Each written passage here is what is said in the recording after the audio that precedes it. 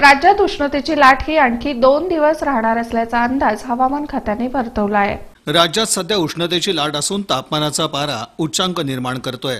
अकोला इथं तापमानानं कहर करत सत्तेचाळीस अंशांकडे वाटचाल ठेवली आहे.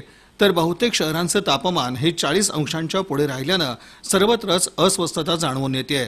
एप्रिल असा असेल तर मेचं ऊन काय म्हणेल अशी चिंता नागरिकांना लागून राहिली आहे. सोलापूरही तापमानात पुढं असून शुक्रवारी सर्वोच्च चव्वेचाळीस पूर्णांक तीन इतक्या कमाल तापमानाची नोंद झाली तर शनिवारी पारा फक्त एक अंशानं खाली आला.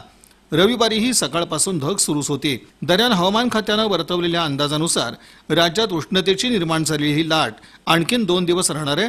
आता हे दोन दिवस कसे असतील आणि त्यानंतर कशी परिस्थिती असेल याचीच चिंता नागरिकांना लागून राहिली आहे.